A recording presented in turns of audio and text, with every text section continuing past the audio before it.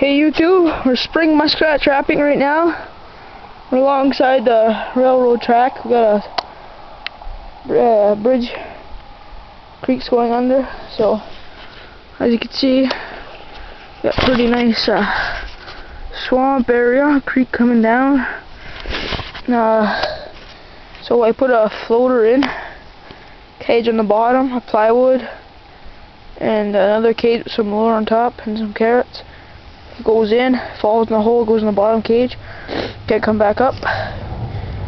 So there's muskrat houses all over here, set up on the houses. Still a bit of ice from the spring, still melting. So we're gonna put some traps up and I'll show you some more. Peace.